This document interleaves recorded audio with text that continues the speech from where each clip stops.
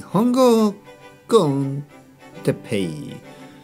日本語学習者の皆さんをいつもいつも応援するポッドキャスト。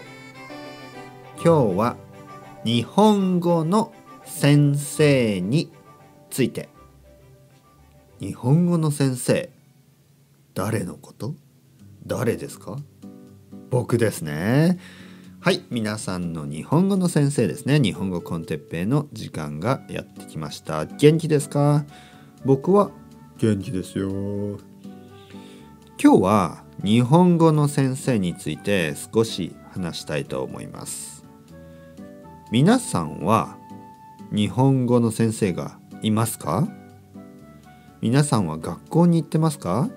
それともポッドキャストでポッドキャストで勉強していますか？僕の日本語コンテッペイのポッドキャストで勉強してますか？日本語の先生にはいろいろな人がいますね。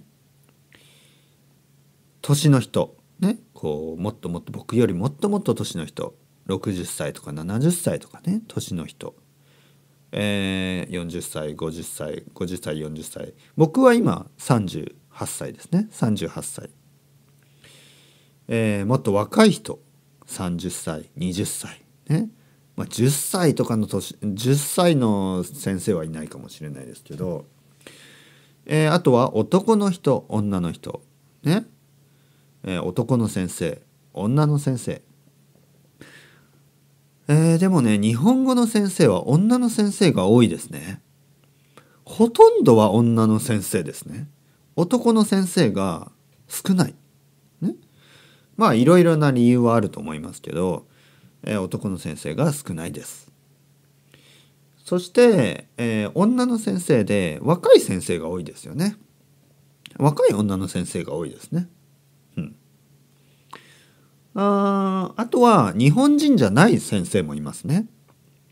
えー、例えば、えー、イギリス人の日本語の先生もいるだろうしアメリカ人の日本語の先生もいると思います。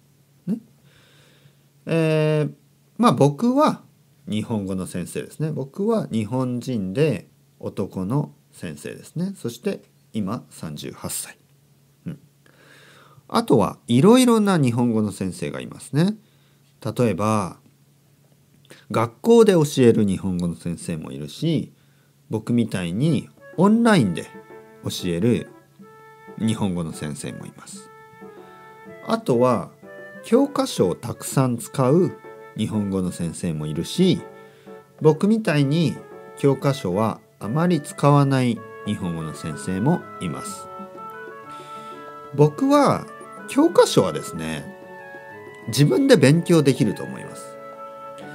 教科書を使って自分で勉強してわからないところを僕に聞いてください、ね、一緒に教科書をやるのは少し時間がもったいないと思いますね。例えば第1課じゃあカルロス君これを読んでくださいみたいなのはちょっと時間がもったいない気がしますね。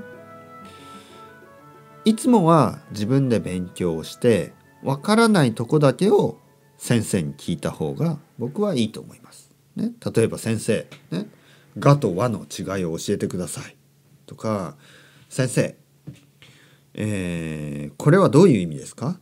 とかね。この文章はどういう意味ですか？とかね。そういうふうに聞いてくれれば僕は全部それに答えることができます。ね、日本語の先生他にはどんな人？明るい先生。とかね。ちょっと退屈な先生。面白くない先生。とかね。面白い先生。面白くない先生。元気な先生。元気がない先生。ね。いろいろありますよね。まああの僕はまあどうですかね。僕はどんな先生ですか、ね、自分ではよくわからないですよね。ちょっと変な先生かもしれないですね、えー、ちょっと変な先生の、えー、日本語のレッスンが受けたい人は italki で、ねえー、レッスン申し込んでください、ね、待ってますよ。